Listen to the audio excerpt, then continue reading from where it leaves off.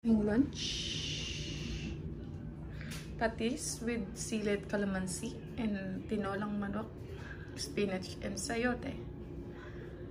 Ayan, kainan na mga mamshi, mga beshi. Ayan, mga mamshi, kakain na po tayo. Mga beshi, if you- hindi pa kayo nagsusubscribe sa akin channel, mag-subscribe na po kayo. So, so today, nagluto ako ng tinolang manok.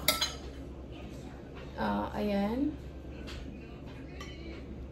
I, I put spinach. Tapos meron akong sausawan. Sausawan, patis. Ayan.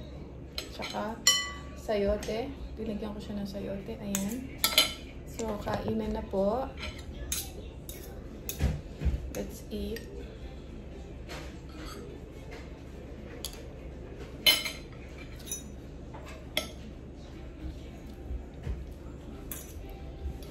Ay.